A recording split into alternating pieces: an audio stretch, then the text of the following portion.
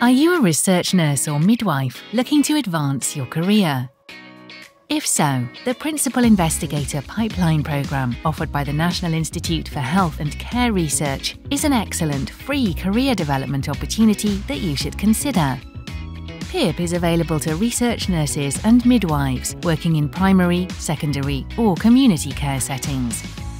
It aims to equip you with the necessary theoretical knowledge, leadership skills, and practical experience to become a principal investigator responsible for conducting research at a site.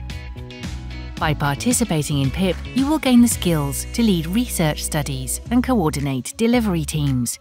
It will also contribute to your professional development by building on your research expertise. The programme comprises of four elements Element 1 gives an overview of the principal investigator role and responsibilities and is largely theory-based.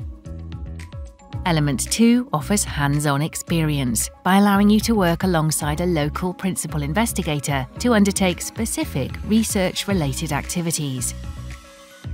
Element 3 allows an opportunity to practice independently as a principal investigator whilst participating in some recommended learning activities and Element 4 focuses on leadership and mentorship, enabling you to support other research nurses and midwives in their principal investigator development and act as an advocate for the PIPP.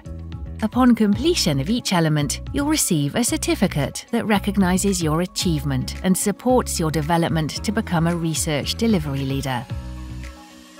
To access the programme, you'll need your line manager's approval and the support of a local principal investigator to work alongside. You'll also need to identify NIHR studies to work on during the programme. Don't miss out on this opportunity to develop your knowledge and skills and become a principal investigator of the future.